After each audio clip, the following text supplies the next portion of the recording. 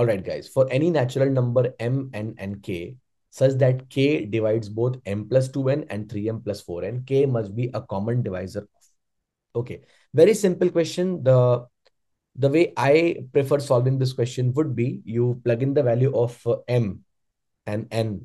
Okay, take m randomly as 2 and n as 5.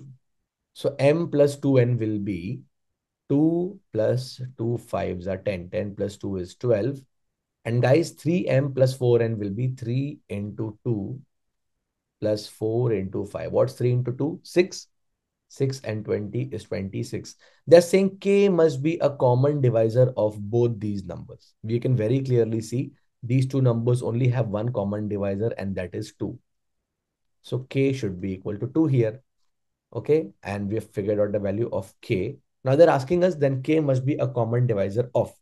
The first option says 2m and 3m. 2m will be 2 2s are 4.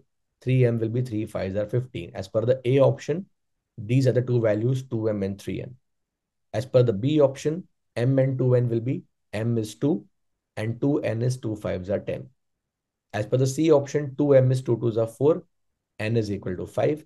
As per the D option, m and n are 2 and 5. Now, k is a common factor of only these two numbers, right? 2 and 10.